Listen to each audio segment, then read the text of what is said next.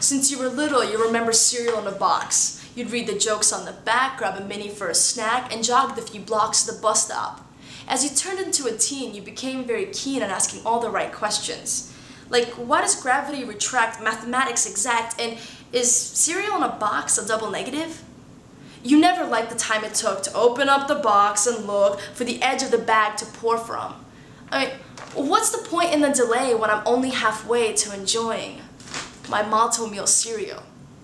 Fast forward to today, you're the perfect display of environmental awareness.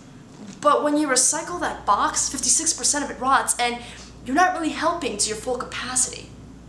Households could reduce paperboard use by 375 million pounds, that's per year, if they only volunteer to buy cereal in bags instead of boxes. So down with the cardboard wall, no matter how small, if we bag the box, turn back the clocks, and think about this logically, we get 75% less packaging, hassling, polluting, refuting, accusing, and abusing, and that makes you 100% smarter.